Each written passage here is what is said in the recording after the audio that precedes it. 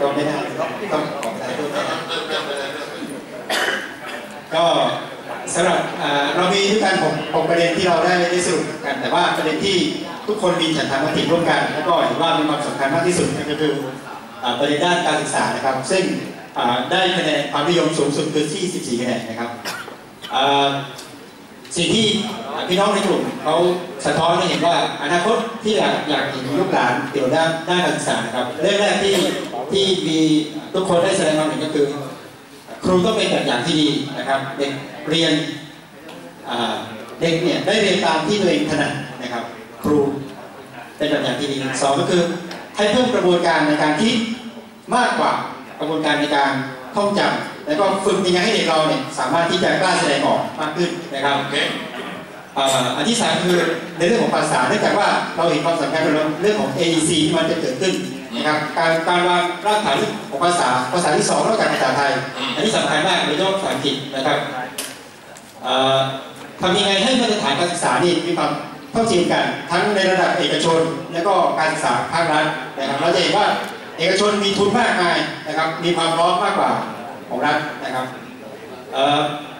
อีกเรื่องนึงคือการยกระดับคุณภาพของบุคลากรทางการศึกษาคือคุณภาพของครูนะครับ แล้วก็เรื่องของการจัดสรรงบประมาณให้เพียงพอ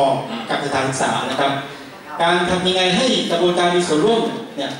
ให้ประชาชนนะสามารถกำหนดนโยบายด้านการศึกษาเข้ามานะครับ แล้วก็เรื่องของการประเมินคุณภาพเอ่ออยากให้กระจายความสุขสู่ชุมชนด้วยอย่างนี้นะครับอีกอันนี้ก็คือให้มีการสนับสนุนนะครับ หรือว่าเปิดโอกาสให้เด็กยากจนที่อยู่ตามชนบทนะครับ เพราะว่าหลายๆคนสะท้อนมาก็คือเด็กเด็กชนบทบางครั้งเด็กเรียนเก่งแต่ไม่มีโอกาสขาดทุนทรัพย์อะไรพวกนี้ก็อยากจะให้ทางรัฐสนับสนุนแล้วก็ทำยังไงให้พัฒนาคุณภาพให้เท่าเทียมกันนะครับที่สะท้อนอะอันนี้ก็คือเรื่องของนโยบายการศึกษาเนี่ยอยากให้มีเอ่อเขาเรียกแผนแม่บทแห่งชาติในเรื่องด้านการศึกษาใครมาเป็นรัฐบาลก็ต้อง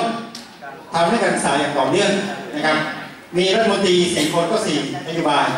นะครับมีการเปลี่ยนแปลงอยู่เสมอทำให้การศึกษาไทยนี้ไม่มีความต่อเนื่องนะครับที่เป็นปัญหานะครับแล้วก็ก็คงจะจบเพียงนี้สิ่งเหตุผลที่ได้ผมแบ่งให้คุณกำลังคุณกำลังสิ่งตอบนิดนึงโอเคครับเชิญอ่าดิฉันนางน้ำลาราศีนะคะจากอายุตัวแทนจากเชียงใหม่อายุเท่าไหร่คะ45ค่ะอายุอีกประมาณเกือบร้อยปีเมื่อกี้นักเรียนเราก็ฉลาดแล้วนะคะ สิ่งที่เราอยากได้ก็คือ เมื่อกี้เราบอกว่าเราอยู่ลำดับที่แปดนะคะ อันนี้ลำดับที่หนึ่งแล้วนะคะนี่อ่าพัฒนาเหมือนอาเซียนแล้วนะคะ อยู่ลำดับที่หนึ่งแล้วนะคะการศึกษา เมื่อกี้ด้อยนี่ดีเลิศอันเนี้ยนะ อ่า นี่เปิดโอกาสทางการศึกษานะ เราต้องเปิดโอกาสให้เด็กเราฉลาด ให้ทุกคนฉลาด มีการศึกษาอย่างเดียวเหตุผลอย่างอื่นไม่ต้องมาพูดฉลาดหมดนะอันนี้นะ อยากเห็นประเทศไทยไม่ คตยังไงคะถ้ามีการเจริญพัฒนาเท่าเทียมกับประเทศอื่นๆหลายประเทศนะสร้างบุตรหลานมีคุณภาพก็เหมือนกันนะถ้ามีการศึกษาคุณธรรมก็ต้องศึกษาศึกษาได้ต้องมีคุณธรรมต้องปฏิบัติด้วยนะคะไม่ใช่มีคุณธรรมเพียงอย่างเดียวนะคะอ่าแล้วก็ประเทศก็พัฒนาได้ถ้าคนมีคุณธรรม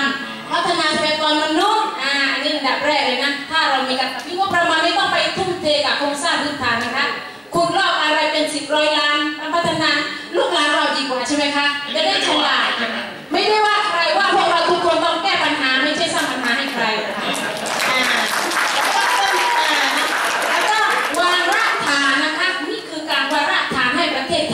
นาคตนะคะ แล้วก็เน้นนะคะไม่ต้องย้ำเป็นสามจังหวัดนะคะเพราะว่าสามจังหวัดไม่อยากจะอยู่สามจังหวัดอยากไปอยู่ 76หรือว่า77จังหวัดของประเทศไทย